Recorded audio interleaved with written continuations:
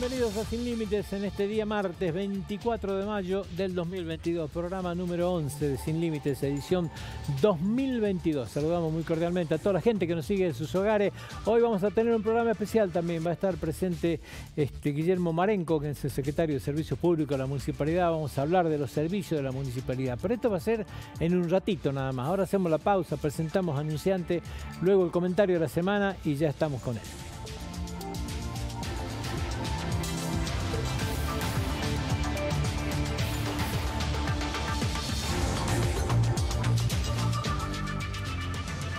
Muy bien amigos, volvemos al aire, comentario de la semana.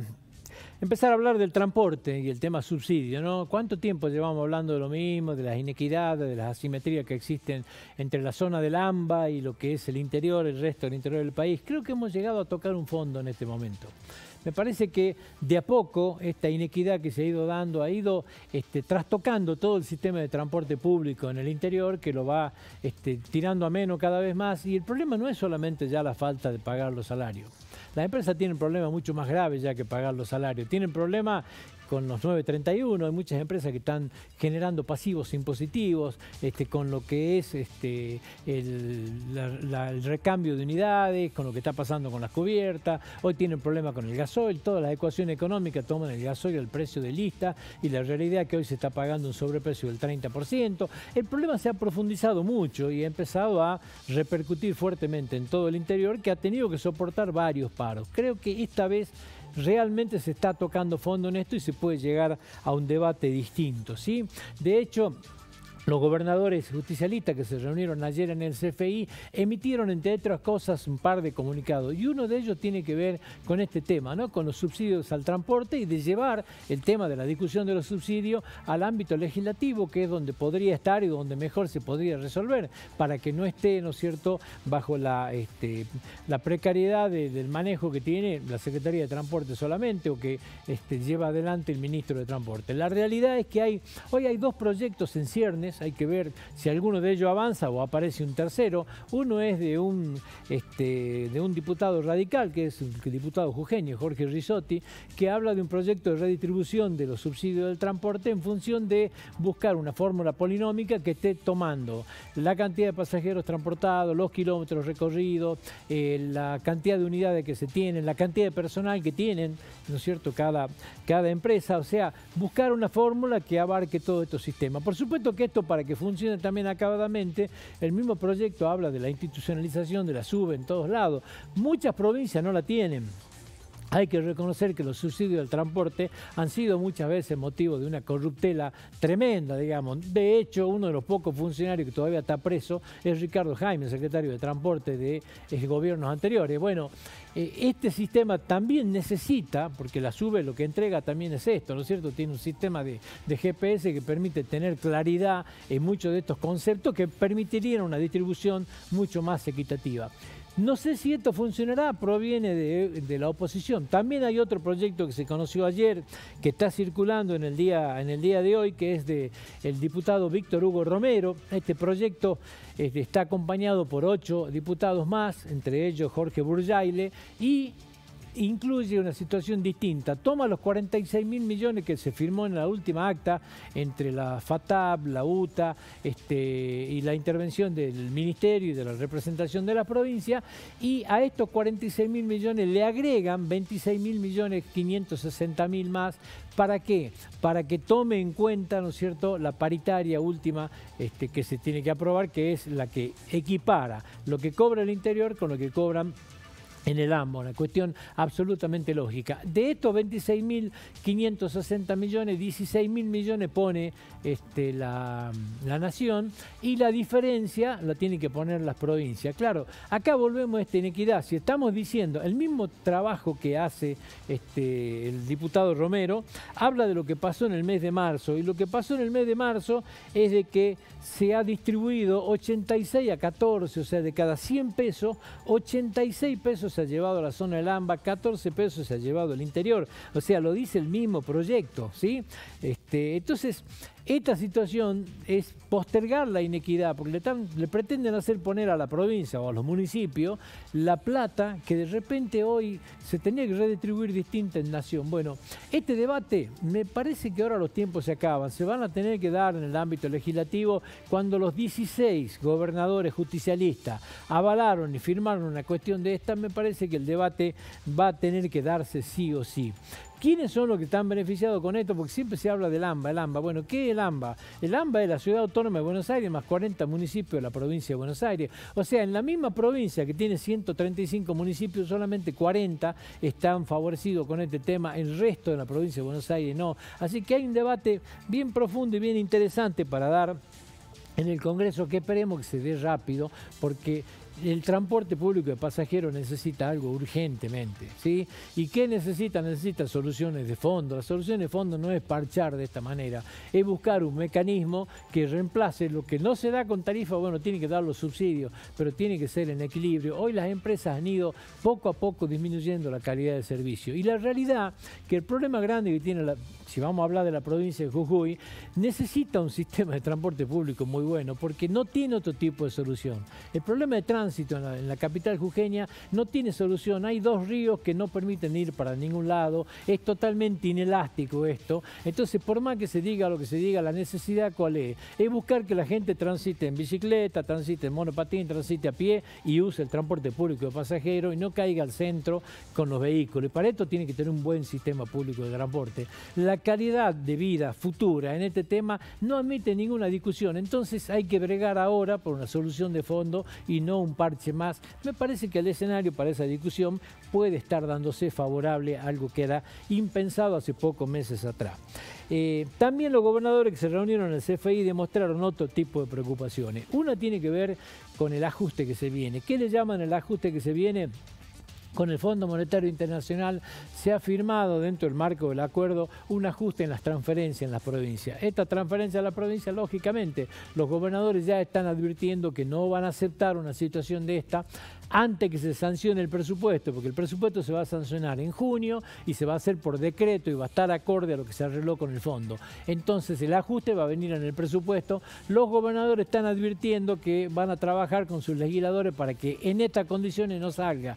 Es un debate fuerte que se viene. Las provincias no quieren que se ajusten los números de las transferencias que se hacen a las provincias, así que es un debate fuerte que se viene. El otro tema también están pidiendo una tregua, una tregua en qué? Y están pidiendo una tregua entre Alberto Fernández y Cristina Fernández de Kirchner.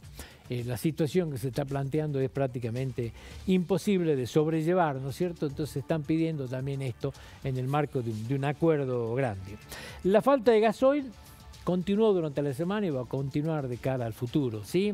Lo hemos vivido de todas maneras. A mí me tocó ser testigo de esto el día viernes cuando de repente me tocó salir a la ruta y ver los las colas de camiones en las estaciones de servicio tratando de cargar gasoil para irse de la provincia. Bueno, es un problema que cada vez se va pronunciando más. El tema es que Recién estamos entrando en la campaña fuerte azucarera. Solamente el ingenio Ledesma está en Zafra. Todavía no entró en Zafra ni La Esperanza, ni el ingenio San Isidro y los ingenios santeños tampoco están. Así que hay que tener precisiones sobre este tema porque es algo que se va a profundizar. Lo que pasa que en el medio de esto, algunos dicen que puede tener que ver desde que se oficializó el acuerdo por el tema del gas con Bolivia. No me consta. Lo que sí me consta, y tengo video al respecto, y hemos publicado estos videos en las redes sociales, sí consta de que están pasando todos los días entre 45 y 50 camiones de gasoil por el norte salteño hacia Posito, a Bolivia. ¿sí? Esto está pasando y hay videos que circulan, que reitero, no hemos publicado, pero a su vez también ayer tuvimos la posibilidad de hablar con el intendente de Aguaray, que es uno de los que denunció este tipo de situación. Claro, a la empresa le conviene mucho más vender a Bolivia que acá, pero si estamos hablando de 45, 50 camiones, hoy un camión de eso carga llevando un solo equipo 9.000 litros, bueno, estamos hablando de gran parte de por qué estamos en un problema de esto. ¿Cómo es esto que no tenemos gasoil y estamos vendiendo de esta manera? ¿En qué concepto sale? Bueno, es todo un tema que me parece que merece una respuesta un poco más adecuada con lo que está pasando. ¿sí? No hay gasol en ningún lado y se lo están llevando a Bolivia. Entonces me parece que hay que tomar este tema de una manera, de una manera distinta.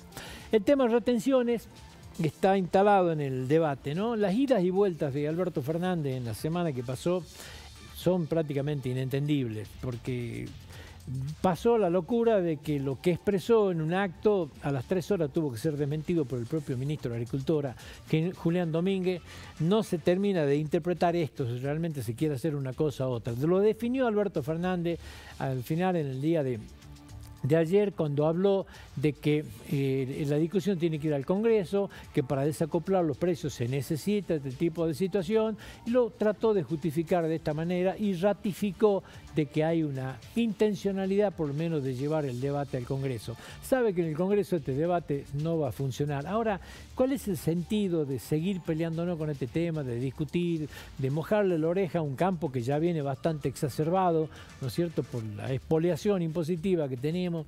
¿Cuál es el sentido, me pregunto, ¿no? Hoy la República Argentina tiene las condiciones excepcionales porque tenemos un precio del trigo y un precio de la soja que son muy muy buenos para tener un muy buen viento de cola. Sin embargo, en la Argentina esto, que somos grandes exportadores, en vez de ser una solución, se transforma en un problema, porque es lo que genera el aumento de precio, cuando tendría que ser esto la gran solución para el país. En el medio de esto estamos eh, eh, sembrando menos soja y menos trigo.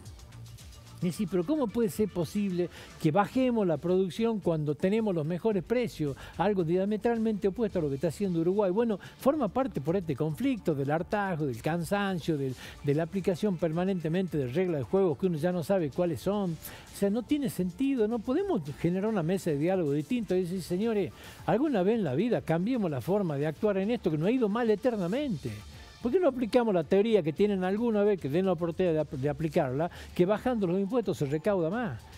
Y esto es así, o sea, si vamos a bajar los impuestos, pero en vez de hacer 44 millones de toneladas de soja, vamos a hacer 60, cuando usted lleve esa ecuación al impuesto a las ganancias, porque lo que deje de pagar retenciones paga impuesto a las ganancias, se va a dar cuenta que entramos en equilibrio de vuelta, pero si hacemos 60 millones de toneladas de soja, y vendemos más camionetas, vendemos más gasoil, transportamos más, mueve toda la economía, hay mucho más inversión, entran más dólares, o sea, hay otra ecuación y otro derrame que son distintos, no podemos generar ese debate en vez de estar peleándonos todos los días por cuestiones ideológicas. Es una pregunta que no tiene respuesta, pero la verdad este, ya cansa. Los argentinos parece mentira, estamos como esos perros que quieren morder la cola, dando vuelta todos los días y llega un punto que no tiene sentido, no nos fue bien, nos va cada vez peor. Pero bueno, volvemos a mojarle la oreja al campo y así estamos. Se fue Roberto Feletti, eh, entró Guillermo Han en su reemplazo, un viejo compañero de, de este, ministro Guzmán. ministro Guzmán con esto se ve, como se usa la palabra hoy, ¿no? Se ve empoderado, ¿sí? O sea, en este momento ha ganado protagonismo, se ha situado de una manera distinta. De hecho, hoy hubo anuncios que tienen que ver con algunas liberaciones hacia el cepo cambiario para las empresas que inviertan en energía. En principio era solo vaca muerta, después aclararon que también puede haber algún tipo de, liberación a la otro tipo de energía, la renovable, como el caso, podemos estar los jujeños favoreciendo o el GNL, el gas natural licuado. Vamos a ver cómo terminan los anuncios en forma definitiva, porque hoy fueron medio generales, no están eh, pormenorizados para ver cómo se dan, pero la realidad es que las empresas que inviertan en energía van a poder reenviar esos dólares que han invertido al exterior en conceptos de utilidades, bueno, algo que venían reclamando hace mucho tiempo. Y esto se da un poco también por la idea de Feletti. Ahora, la idea de Feletti también se da en un momento de un enfrentamiento que se profundiza entre el presidente de la República y la señora vicepresidenta. El otro tema, eh, un proyecto que se presentó en el día de ayer de los diputados del Frente Pratia Grande, ¿sí? tres diputados que responden a, Juan Grabois y que tienen que ver con la intervención del Poder Judicial en la provincia de Jujuy, la intervención federal del Poder Judicial. Marcan ahí cuáles son las situaciones de riesgo que tiene el Poder Judicial, qué es lo que pasa, dan algún tipo de argumentaciones. La verdad, hay algunos conceptos vertidos acá que son, llaman mucho la atención. Una intervención a un poder del Estado es un tema lo suficientemente grave para tener que ser tratado con una... O sea, no se, no se llega fácilmente a una intervención. Tienen que suceder innumerable cantidad de cosas para que pase esto, ¿sí? O sea, no es algo que se trata con esta liviandad que se está tratando. De hecho, una de las cuestiones que ponen de la justicia jujeña, pero resulta ser de que quien intervino en esto, intervino Milagro Sala en videoconferencia. Milagro Sala es una presa, O sea, está presa con prisión domiciliaria por una actitud bastante arbitraria de organismos internacionales que determinaron esta situación. ¿sí? Ahora, como presa, la única diferencia que hay es que en lugar de estar en medio de los barrotes, en una celda, en un penal, está en la casa. No puede estar dando conferencia de prensa, hablando. Y estas cosas pasan. O sea, quienes están diciendo de que no dan las garantías, bueno, fíjese los excesos de garantía que tenemos acá. Se nota las argumentaciones que hablan es que sin la voluntad popular y sin el consenso están por modificar la constitución. Están por modificar la constitución. ¿De dónde sacan que ya se está modificando? ¿Conocen algún proyecto, hay algo? ¿Qué, ¿Qué, significa? Que es una intervención preventiva del Poder Judicial, o sea, no vaya a ser cosa que modifique la Constitución, por eso queremos intervenir. Este mensaje estamos dando es poco serio, es realmente poco serio, o sea, hay una cuestión política, evidentemente, son los mismos grupos de siempre, esto viene del mismo lado, ¿no es cierto? Ahora está Graboy, pero por atrás quienes replican. Y entra aparece en C5N, en el Destape, en el Cuete de la Luna, Horacio Berbisky, eh, Zaffaroni, bueno, es la misma usina, la misma forma, los mismos argumentos. ¿Sí? de un Jujuy que la verdad empieza a tratar de recomponerse. ¿Por qué no le preguntan a los jujeños cómo se sienten en esto y qué tipo de mayorías hay de gente que cree que hoy está en peligro la democracia en Jujuy? ¿Por qué no nos preguntan a nosotros? Nosotros hemos tenido en peligro la democracia en Jujuy que no podíamos transitar por las calles. Pero este creo que es un Jujuy distinto. ¿por qué no nos dejan tranquilos con este tema? ¿Qué conocen estos tres legisladores de lo que pasa en la provincia de Jujuy, lo que hemos vivido, vivido nosotros y lo que pensamos nosotros? ¿Qué es lo que saben de esto? Sinceramente, o sea, ¿quién es lo que representan ahora esta gente acá? ¿Quiénes son? Pero bueno, es algo que nos toca vivir lamentablemente, que nos perjudican. Yo hoy tuve que atender a dos radios este, que preguntan de esto, lógicamente, buscan periodistas del lugar y nos hacen nota y, preguntan qué está pasando y volvemos a estar en boca de todo por estas cosas. Tenemos muchas cosas interesantes del Jujuy del futuro para estar discutiendo que estar frenado y anclado en este tema del pasado, lamentablemente. El tema mapuche es un tema durante la semana, ha sido muy complejo. Primero, las tierras de Bariloche yo no, no, soy abogado ni conozco mucho de leyes, pero de algo estoy seguro. Eh, acá hubo, la justicia inclusive porteña está investigando, el juez Rafeca y el fiscal Estorniolo están investigando si no hay un hecho delictivo en esto. Porque la realidad es que hubo una jueza, un juez, perdón, subrogante que terminó cediéndole la tierra a una organización mapuche, 280 hectáreas que son del gobierno, del, del ejército. El ejército llegó tarde a presentar, ¿no es cierto?, la apelación. Tenía que haber contestado demanda hasta una fecha determinada y fue horas después, ¿sí? Lo que se está investigando si no ha sido intencional, si lo que se ha hecho con esto no ha sido una forma subrepticia de transferir las tierras. Esto se está investigando, si no hay un delito, ¿sí? Porque dieron la orden y la orden fue tarde y llegaron tarde a hacer la apelación. Ahora fueron en apelación. ¿Qué contestó la Cámara de Apelación de General Roca en el día de ayer a la tarde? Dijo que, lamento, contestó tarde, no han, usado su derecho a defenderse. Dicen que van a ir a la Corte, están pidiendo. La Corte ve cuestiones de constitucionalidad. En haber contestado tarde una demanda no, no afecta ninguna constitucionalidad de nadie. O sea, es todo muy raro, ¿sí? Pero acá son 180 hectáreas. En el medio dice que hay en juego más de 3.000 hectáreas. Y cuidado porque en el medio el conflicto mapuche está tomando aristas totalmente distintas. En Chile, el propio Gabriel Boric, que, dio preso en este tema, ha pedido militarizar la zona sur porque no dejan pasar los camiones y un dirigente mapuche, uno de los principales dirigentes, llamó a alzarse en armas. Esto pasó la semana pasada. Y nosotros acá tenemos esta conflictividad creciente con un Estado que mira para el costado, que no hace lo que tiene que hacer, que se hace el distraído en este tipo de cosas, y este conflicto lo tenemos. Hoy ni siquiera podemos determinar dónde está John Esguala. Creemos que está en la Argentina, pero no sabemos. Cuidado con este conflicto mapuche. ¿sí? Chile, país donde ganó la izquierda, donde creía que había hecho político con ellos, donde una ministra pretendió entrar en esta tierra creyendo que era todo amigable, la sacaron corriendo. Hoy Gabriel Boric está preso de este tema. Y nosotros creemos que podemos jugar con el tema mapuche y no se puede jugar con el tema mapuche. Está creciendo demasiado rápido y merece un debate y una profundidad distinta en lo que se haga y en lo que se pretenda hacer con todo esto. Eh, la fiscal Goyeneche de Entre Ríos ayer quedó, este, la dejaron cesante en su cargo, cinco votos contra dos, un mensaje complicado, mensaje muy complicado porque la fiscal Goyeneche es la que llevó a ocho años de condena al ex gobernador Sergio Uribarri, ¿sí? que todavía no ha vuelto de Israel, entre paréntesis, y es la que en una investigación muy profunda determinó que en el año 2018 hubo contrataciones espuria por 54 millones de dólares en la legislatura. Esta, esta, investigación, que no está terminada, por cierto, porque no se puede avanzar mucho más, porque afecta no solamente al partido gobernante, que es el Partido Justicialista, de frente todo, el gobernador Bordet, sino que también hay muchos opositores que están con las manos pegadas acá, parece. Entonces, ha tocado intereses muy fuertes de la política en general y por ese motivo, en un trámite súper express, Super Express ha sido destituida de su cargo. Es un pésimo mensaje porque si cuando una fiscal investiga al, poder, al Estado, termina de esta manera, claro, es un mensaje a futuro. ¿Quién se va a animar a investigar algo y quién se va a hacer algo? Da la sensación de haber garantizado la impunidad. Creo que lo que ha pasado en Entre Ríos no es un buen mensaje para nadie, ¿sí? No es para nada.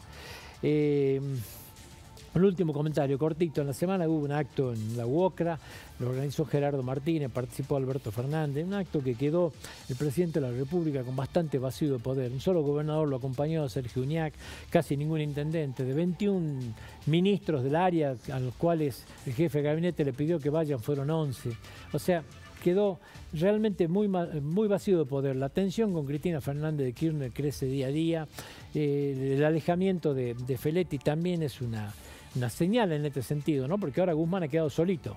Ahora toda la culpa de lo que pase con la inflación la va a tener Guzmán y nada indica que el tema inflacionario vaya a modificarse en los próximos meses, o sea que la presión va a ser más grande. Claro, en el medio de esto lo que decimos es que la tensión en la cúpula del poder continúa y se profundiza cada vez más.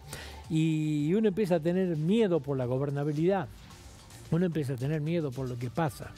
O sea, el sistema democrático exige que los gobiernos se entreguen y terminen como corresponde y es obligación de todos nosotros lograr que Alberto Fernández llegue el 2023 como corresponde y le entregue el poder a otro presidente elegido este, constitucionalmente como corresponde. Y eso uno tiene la sensación que empieza, que empieza a dar problemas. Los gobernadores del PJ ayer reunidos, lo decía recién, este, en un documento pidieron una tregua en esto pidieron paz, pidieron tener un programa determinado, un destino determinado y empezar a caminar los argentinos, por lo menos con la obligación de poder rediscutir las cosas de una manera distinta, mucho más civilizada. Hoy la institucionalidad de la Argentina vemos que empieza a estar en riesgo. El presidente cada vez queda un poco más vacío de poder y los ataques que se dan del propio frente de todo son cada vez más profundos una buena manera de llamar a la reflexión. Lo hicieron los gobernadores del PJ ayer, creo que lo está haciendo todo el país. Necesitamos transitar con un poco más de paz. Nos vamos a la pausa.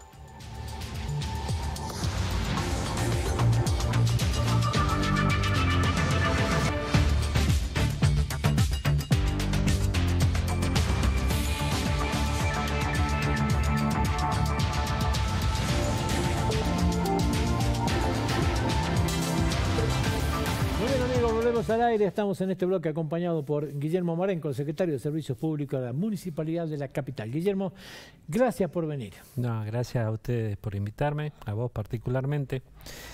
Primer gran tema, ¿qué pasa con el carnet de conductor? Porque es lo que todos hablan, este, la problemática, digamos, que parece ser la más grande. ¿Cuál es la situación de Jujuy hoy en esto? No, la situación de Jujuy es está totalmente controlada. La verdad que no muchas veces nosotros no entendemos cuál es el reclamo que está existiendo.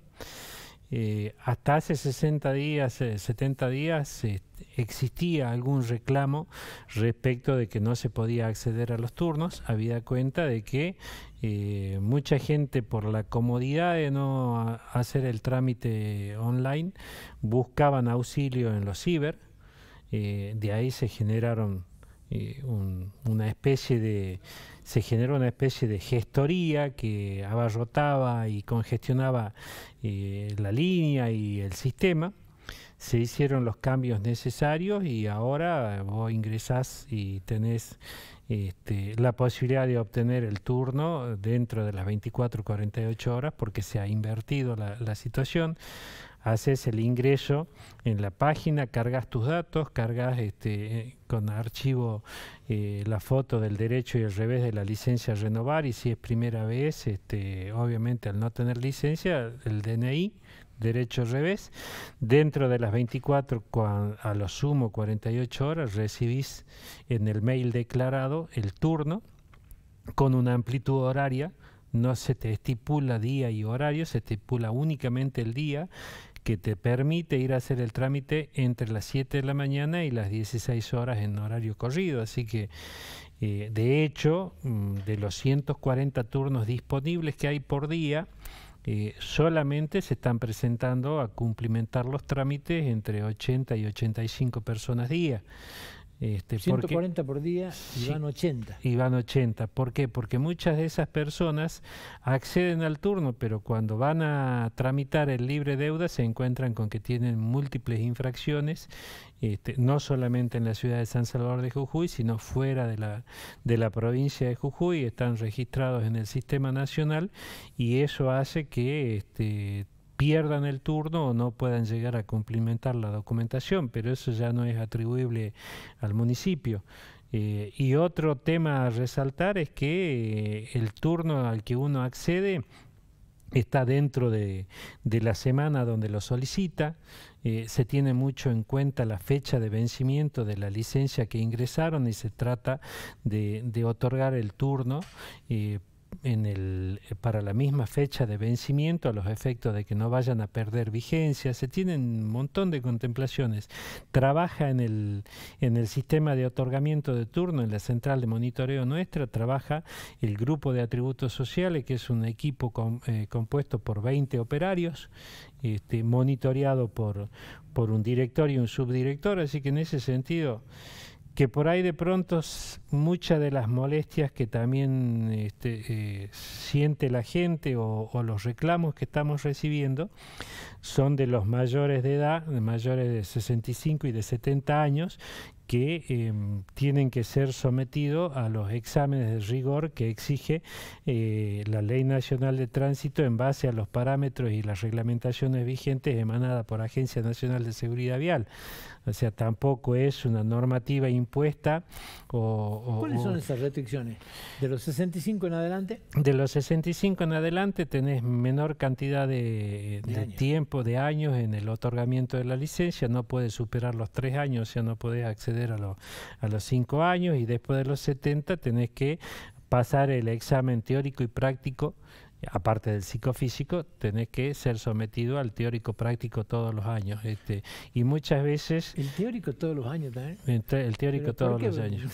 Tenés miedo que con el Alzheimer te olvides. Claro, es, la normativa que hay nacional y es la que hay que respetar. Este, pero fundamentalmente donde, donde se están planteando inconvenientes, este, que muchas de las personas mayores de 70 años tienen muchos problemas este, a la hora de conducir en cuanto al estacionamiento, la visualización de semáforos y de señales viales, etcétera.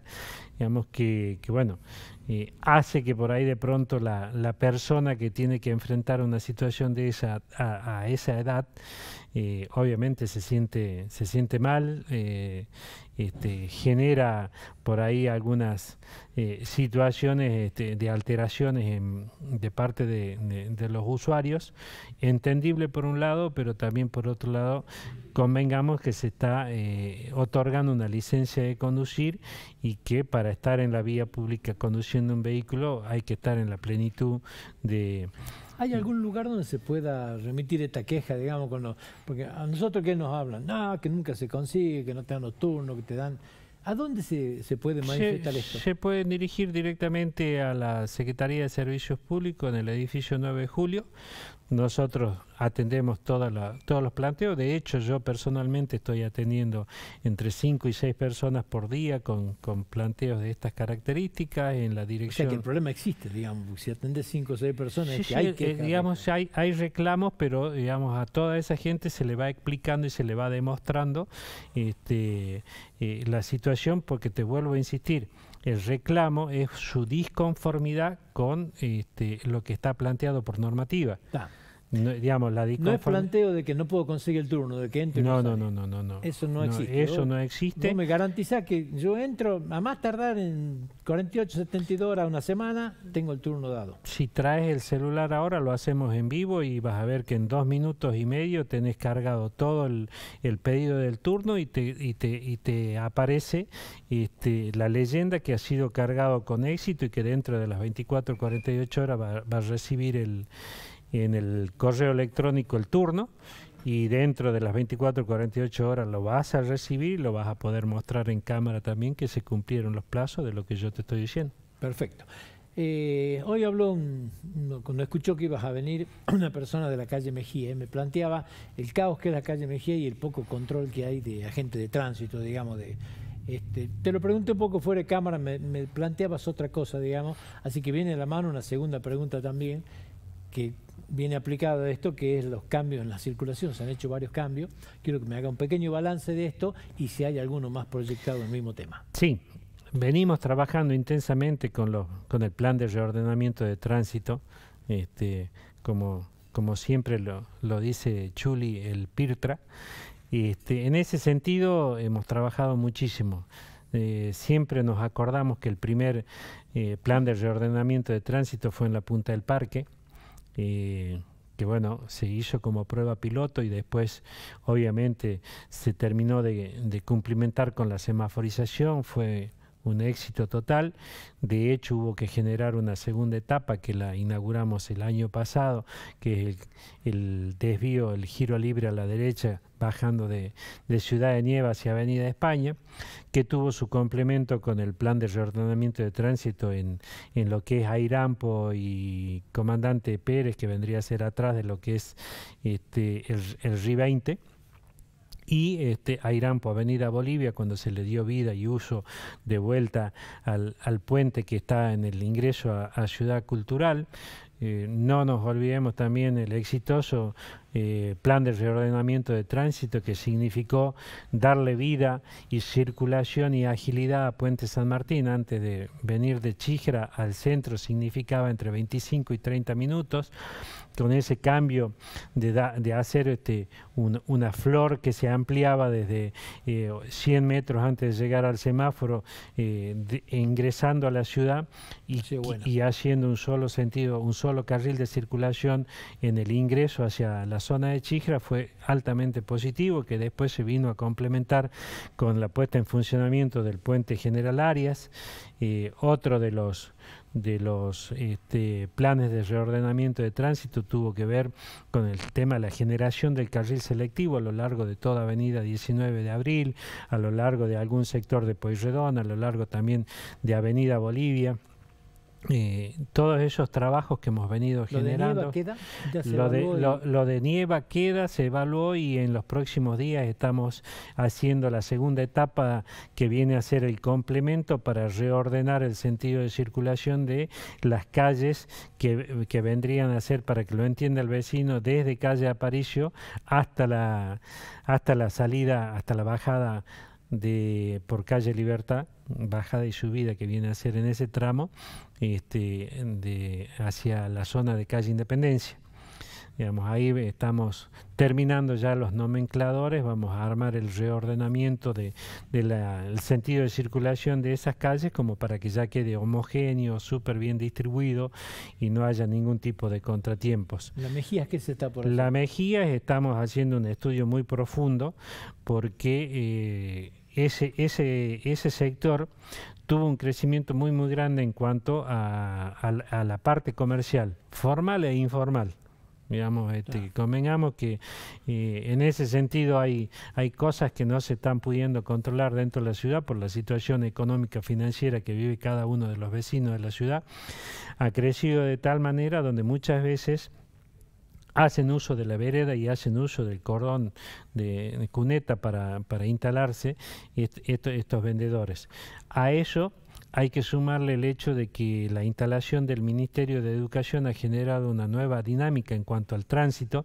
Por eso, eh, hace muy poco nosotros hemos generado la semaforización en la esquina de Avenida 10 de Junio y 2 de Abril, que es justo donde está el, el, ministerio, y en estos momentos estamos terminando todas las, mediciones correspondientes para lanzar la, factibilidad que ameritaría en principio, eh, no lo tomen como final porque es nada más que a título ilustrativo, que posiblemente tengamos que darle un solo sentido de circulación a la calle Mejías, este, pero también eso viene enganchado con que estamos esperando que salga una, una, una ley de expropiación eh, que tenemos, eh, este, que está trabajando el gobernador de la provincia y el intendente respecto del último tramo de lo que es la avenida 10 de junio, cuando se conecta con avenida Parco Marque y, y la prolongación de avenida Corriente, donde hay un conocido este, corralón que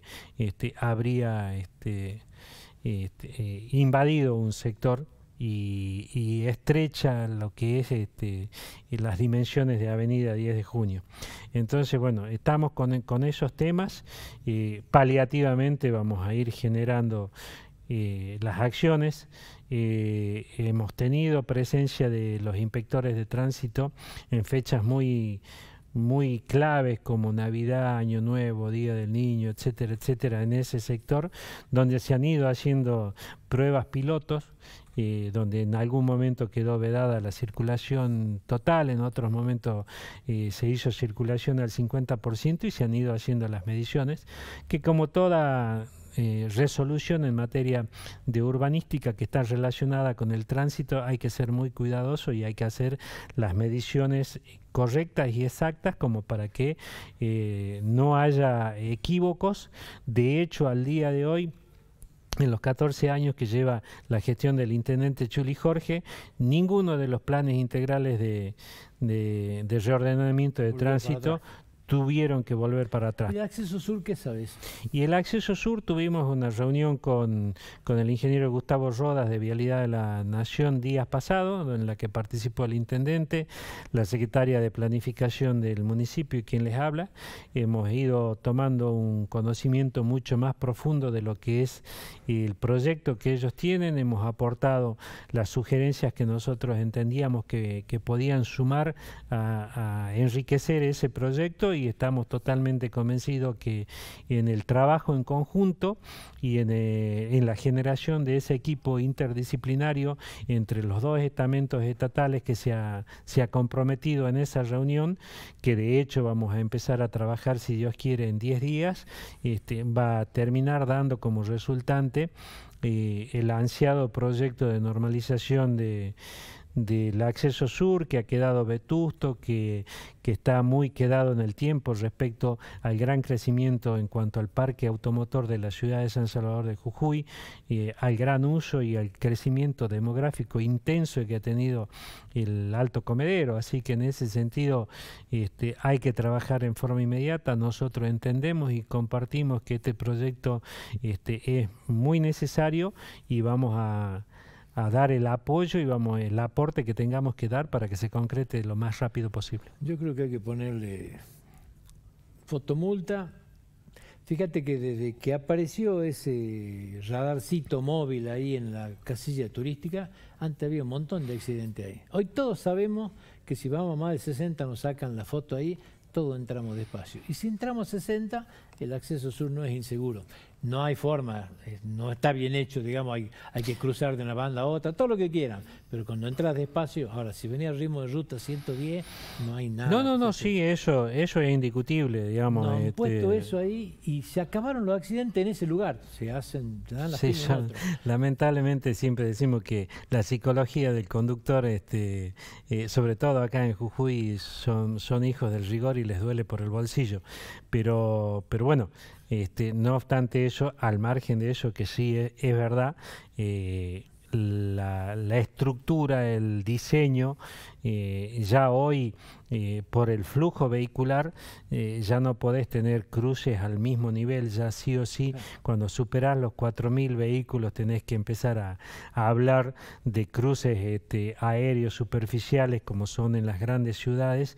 Y no nos olvidemos que el crecimiento que viene teniendo la, la provincia de Jujuy, fundamentalmente la ciudad de San Salvador de Jujuy, por el el crecimiento mismo del parque automotor de la ciudad de San Salvador de Jujuy, si a eso le sumamos el enorme crecimiento que se viene teniendo en materia de turismo, estamos hablando de números que ya exceden todo tipo de lógica para preservar o para seguir manteniendo un sistema de, derivadores como el que tenemos en el acceso sur. ¿no? Garajes que no se demarcan qué debate, ¿no? Es un gran debate. Hay muchos en, el centro de la ciudad, sobre todo, de gente que no lo demarca, guarda su vehículo ahí y están las grandes peleas, porque uno dice, yo no veo que esté pintado acá, paro.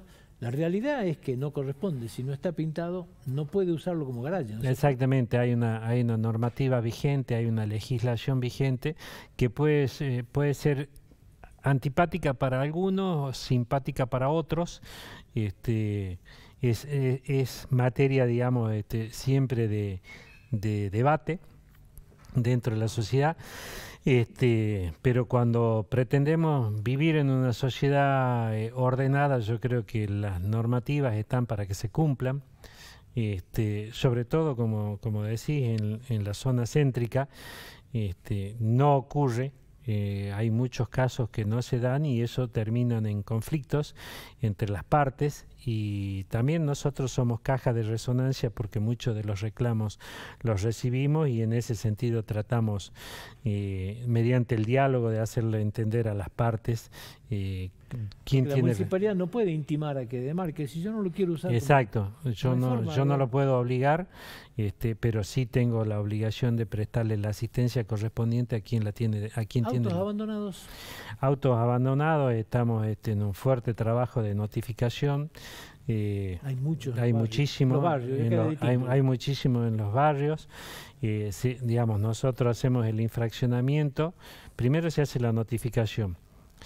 Eh, después, cuando no hay respuesta, se hace el infraccionamiento, se eleva, se eleva a juzgado de falta y bueno, y se viene trabajando y ahora este, estamos en un trabajo mucho eh, muy importante con el equipo de, de la Dirección de Ambiente. Eh, no te olvides que ahora la Secretaría, la ex Secretaría de Planificación del municipio, Secretaría de Planificación y Ambiente, y hemos empezado a trabajar en forma conjunta en todo este tipo de temas. Este, hemos venido trabajando fuertemente con el descacharreo en el año 2000. ¿Podés removerlo? ¿Hay normativas que te permitan o no? Eh, tengo, tengo que tener la orden del juzgado de falta para poder hacer la remoción. Una cosa, una vez en la época del intendente José Luis Martiarena, creo que fue, existía un mecanismo donde vos sacabas una tomabas la patente y te indicaba si tenía deuda de patente y se notificaba. Eso se dejó de hacer.